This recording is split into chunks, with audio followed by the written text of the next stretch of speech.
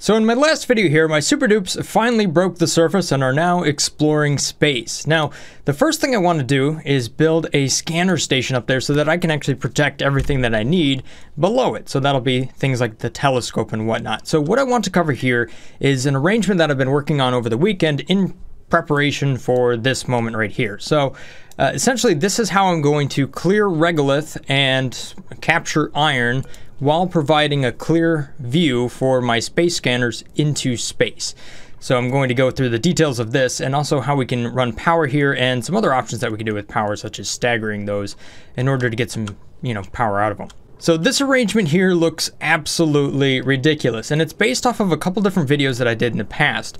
So it started with the idea of can we actually make a conveyor using doors and as it turns out we can actually make a conveyor using doors. This was all the way back in 2017. That then evolved with the next space upgrade into how do we actually clear regolith from on top of uh, rockets and things like that, or silos, and we are we able to use a similar door conveyor system in order to move that stuff off to the side. So the cool thing about this arrangement here is that it will actually destroy a good amount of the regolith that isn't already dug up, but any of the little bits here will actually be conveyed off to the side, uh, right there, just like that. So using those ideas, I came up with this arrangement here. Now the whole purpose of this was actually to have an arrangement that doesn't require cooling. So this up here has no cooling loops or gas loops or anything like that. Um, and that's because these doors can just get really hot and they, they don't get damaged at all. So this is 195 degrees Celsius, 200 degrees Celsius, uh, because it does come in contact with the, the stuff like regolith and iron and whatnot, but it can only get so hot because this stuff is only so hot. So therefore it, it doesn't cause any sort of damage. Um, and different pieces of equipment down here, like the scanners, they just don't get hot. Uh, the mesh tile is insulated in space when you put stuff on top of it, so it doesn't get hot. Um, stuff like that. Same thing with like the solar panels, those don't get hot. Batteries do, so you, you don't want to have them up here. This is actually, I disabled those so that they don't break. Now in this example here, I have these just set side by side so you get some sort of idea of just how wide it is. However, uh, a more optimal arrangement for this is actually to stagger them three in from the edge here. So if you take a look at the light, you can see that this is casting down. There's three tiles right there. If you go to four, uh, you don't get as much power out of that one. So you see this is up at 250 watts or so.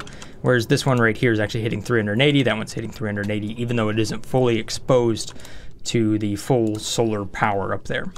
Now let's talk about these space scanners for just a minute here, because these this is easily the weirdest piece of equipment in Oxygen Not Included. Uh, it, you have your scan quality, which is basically just how effective that individual space scanner is, and then you have your total scan network, which you know will increase as you add more and more space scanners. I, ideally, you don't really need you don't really need more than 60 seconds of detection, so that's what I'm why I'm only using two. So that gives me 67 seconds, and you know that's plenty of time to do what I need to do. Just run a little bit of power to the doors, and boom, they can close up. Now I have a lot of different power wires laid out here, and that has to do with the actual beam that these things use to scan into space. Um, and the top of the map actually does count as an object. So if you get these are like way too close to the top of the map here, like this right there, then it will detect it as an object and you won't get this full scan quality. Now, based on my measurements here, essentially what you end up with is, uh, starting from this point right down here, you end up with 15 up, and then from here you actually get 15 to the left. Um, to measure it to the right, you get the same up, but it's 14 to the right for whatever reason it, it really doesn't make a ton of sense. Trust me, it doesn't really make a ton of sense.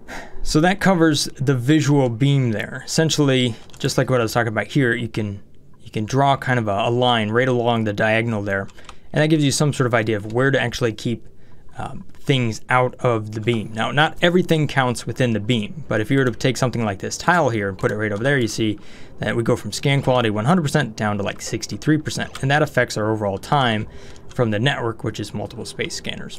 So we can build tiles right along this diagonal right there, and you can still maintain the scan quality of 100. The problem is that, that you're now blocking the light down here, so you don't really want to do that. You can use mesh tiles, you can also use airflow tiles to do the same sort of thing if you really wanted to build that up for whatever reason.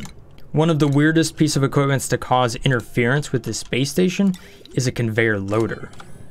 So when you put that right there, you can see the scan quality goes down. Now we're down to 96%. Crap. And here's the wild thing. If you put it down here, which is out of the beam, watch, 87%. It actually drops down. So this thing has like an area around it, and it's all the way around it for whatever reason, uh, and that causes interference with the space scanner, so that drops the scan quality. I personally thought that Klei Entertainment was going to change the way the space scanner works because I, I feel like it's a really weird artificial way to make the game more difficult. But anyhow, this is how this is how it works. So you have that space, you have that beam that you want to keep things out of in order to visually see if you're going to have a tile or whatnot placed up there.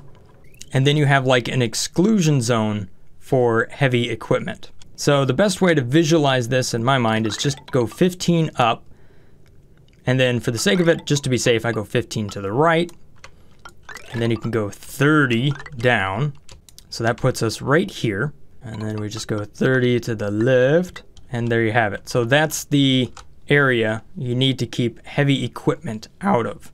Now that does not include all tiles. You can actually put tiles off to the side of this thing and it will still be okay. So you see this right here? We're still at 100% because it's not within the beam. Um, however, if this was within the beam, you'd see it would cause an interference. Boom. So other things that can cause an interference with this scanner is not necessarily just solids, but liquids as well.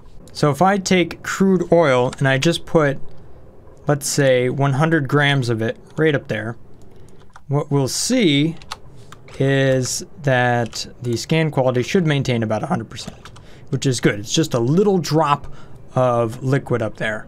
And if we take a look at the lux, it's really not making a difference at all. Uh, just a little bit. You can see there's just a, a, just a little bit of difference in lux. So if I put 1.5 kilograms of crude oil up here, you can see we still have a scan quality of 100%. But as soon as we step over uh, that to, let's say, 1.6, watch what happens here. You can now see that we went from 100% down to zero. So if you build up too much liquid above this space scanner, that can cause it to affect its scan quality percent. However, you can see here if the crude oil is 600 kilograms in one tile and 1,000 in another, we still go back up to scan quality of 100%. So if I expand this out just a little bit more, you can see we have less and less. And if I paint in more crude oil to one spot, it really is just about how much liquid is in one tile. So there's a certain amount that it can actually just see through. I, I'm not going to go through all the different liquids and everything there, but just keep that in mind if you are trying to use some sort of system that has liquid above the space scanner. Liquid will also affect the amount of illumination that makes it through that tile. There's a pretty good guide for that over here by Thunderlock, where he did a, a fair bit of testing on different materials and how much light actually makes it through there. So I'll have a link to that in the description below. Okay, so here's another example of the same sort of thing that I was trying to work on. Um, so essentially what I'm doing here is I'm just using robo miners and auto sweepers in order to, you know, collect and sweep and dig up any of the material that'll actually drop down here. So you can see that there's window tiles that are down here and because they are uh, below the space scanners here, they don't actually cause interference with it. Same thing with all of this liquid that I have. I have a fair amount of liquid down here. So the idea of this build is that the regolith and stuff down here will actually drop into this area and that will generate heat and then I can convert that heat into energy down here in a steam turbine. And that's actually how I re remove the heat so that it doesn't get too hot because it can get hot enough even if you build these auto sweepers and robo miners out of steel, they will eventually get hot enough to cause damage. And to get around having conveyor loaders, I'm actually using storage bins using different priorities. So what you'll see in this arrangement here is the auto sweepers actually pick up material and then move it from one bin to the next in order to get it to the ends here where I'm using an automatic dispenser, which mind you, uh, is not picked up as heavy equipment by the space scanner, whereas the conveyor loader is. So I did have a conveyor rail down there at one point. The other thing about the conveyor uh, loader is that it will absorb a lot of the heat that from the stuff that you put inside of it. So it, it will heat up very, very quickly. Whereas the automatic dispenser doesn't. So, yeah. Anyhow, so you can look at this automatic dispenser and look at how cold it is. It's at 24.4 degrees Celsius, even though it's sitting on a tile that's 125 degrees Celsius. And the, the material that drops into it will just fall out to the side and basically fall back to the asteroid, wherever that might be on your map. Okay, so here we are at the end of the meteor storm. We'll see this regolith drop down. And you'll see how this sort of traditional like system works here. And how it's digging through things and unentombing things that might have accidentally been covered. And it's these arms are working to move stuff from one storage bin to the next to the next. And you can see that stuff will actually make it off to the end. So there you go, boom. It's just kind of a funny system that it how it works like that. But it was at this point that I still had some spots here that even though I could dig to the top of this mesh tile, Unfortunately, I couldn't get the material off of it. So that's when I started to remember back to that idea that all the stuff I've done with the doors, whereas if once you put the door up there and you actually close it, it bumps the material one way or the other. So I was actually able to use that to kind of clear it out. And that's when I noticed that this space scanner uh, will not detect a open door. You can see if it's closed, it's not a big fan of it, but if it's open, then it, you know, doesn't care. And I guess that one tile here is a little bit too high. That was supposed to be lower or something like that. I don't know. You kind of have to play this like weird game of can this see, you know, right? So oh, I can see here, I can see here, I can see here. So I'll generate a picture of this so you guys can kind of copy this format if this is what you want. There's other arrangements too, so this one probably isn't the best. Okay, so with all of that knowledge, here's my final arrangement. I actually learned just a little something more here in my testing uh, because I'm you know, always learning something more. Um, what I actually ended up doing is put these doors horizontal. They actually affect the regolith in a different way. Uh, when they actually go to cycle, they will clear out more regolith when it drops down on top of them in this case that they're closed. The vertical doors don't necessarily always do that, so I think horizontal doors on top, not only is it cheaper, I think it clears the regolith just a tad bit better. Um, however, I ran the vertical doors here for over 100 cycles without a problem or anything being damaged, so uh, it's just a little bit better in my opinion. So this is the arrangement that I'm going to go with. Uh, as far as the automation, I connect both of these space scanners together, run it to a NOT signal, and that then runs the doors up top here. Um, over here, to run the doors that are actually going to clear the regolith and convey it to the left, I run it through a filter gate that's set to 60 seconds. I then run it to a NOT gate, which is connected to the exclusive OR gate, so that's the one that starts with XOR. Um, and then that you know, also goes over here to a buffer gate, which is 60 seconds right there.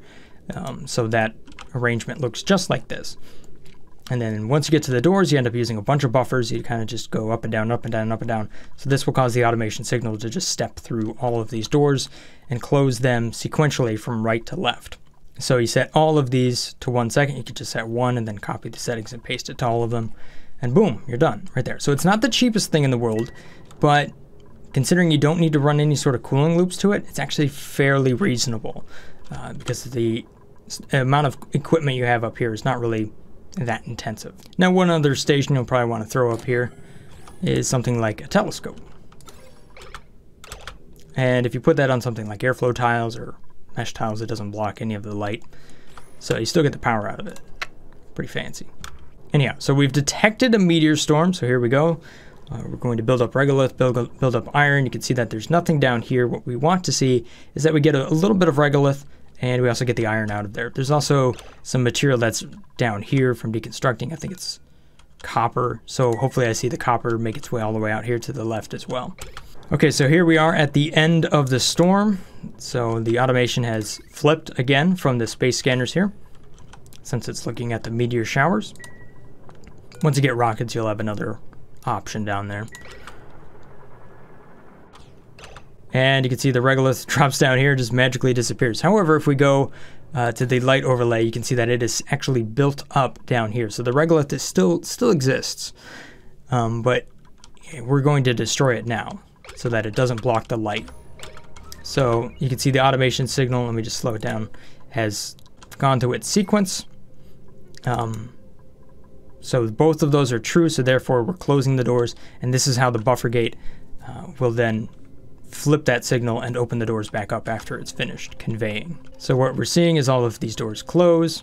And one of the thing I don't like about using the horizontal doors here is that it can take longer for this stuff to get out because the copper didn't really move that far over. So unfortunately it kind of popped up. But we can see stuff is conveying over here to the left.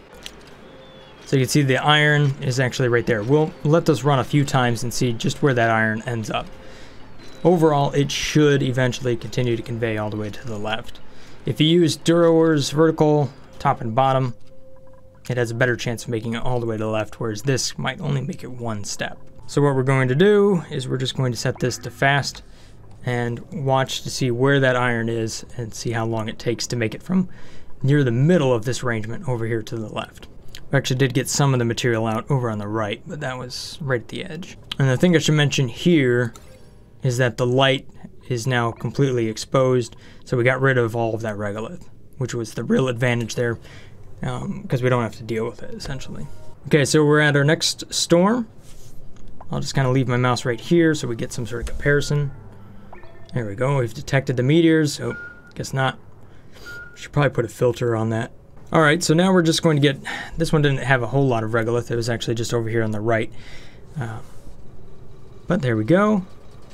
Doot, doot, doot, doot, doot. Oh, yes, and you can see that iron, boom, conveyed all the way from right here off to the left. Now we do have one tile that actually got blocked up by some regolith, so the next time this sequence runs, uh, that'll be cleared out. You could also expand your automation over here to cycle the doors twice if you really wanted to, but you can see how, how relatively simple um, you know, using doors is. You don't have to cool anything down. You don't have to try to figure out where the uh, where the robo miners are going to be, where the sweepers are. So I think that's the arrangement I'm going to, going to go with. Okay, so my thoughts on this method. Yeah, I mean it's it's a little bit cheesy, but then again, um, the space scanner is kind of a weird piece of equipment, and I think it's art- artificially made more difficult than it really needs to be. I think if we had some sort of cover that could potentially just go over this thing, and it takes like I don't know 1800 watts or something like that in order to run. Um, in order to cover it up. I think that would be a, a, much more straightforward way to actually deal with a space scanner than using doors and stuff like that. But hey, this is the way it is for now, and it, you know, we're in the launch preview of the game, so it might be the way it is for a very long time. So this is the arrangement that I'm going to go with here in the Super Duplicant Megabase. Hopefully you found this video somewhat informative or helpful. And if you did, maybe consider hitting that subscribe button. If, if you have your own space scanner arrangement that you'd like to share, maybe consider swinging by the Discord channel. There's a lot of people sharing a lot of really useful information over there. Thanks for watching, guys. Have a great day. Stay awesome. Peace. Brothgar out.